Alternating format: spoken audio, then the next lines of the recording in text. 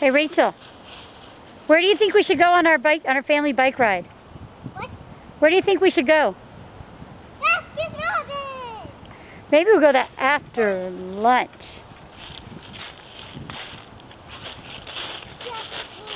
I just used to must go, so don't worry about It's the best November 27th ever.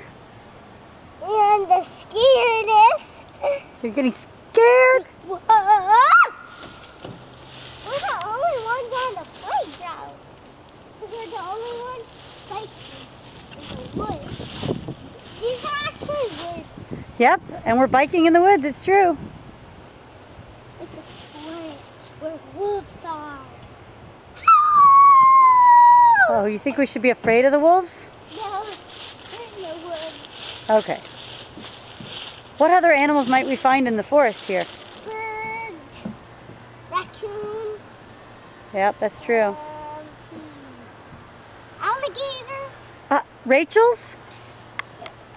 Rachel's are peaceful. Usually.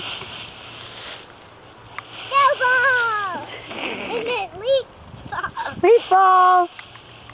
Leaf ball! Leaf balls!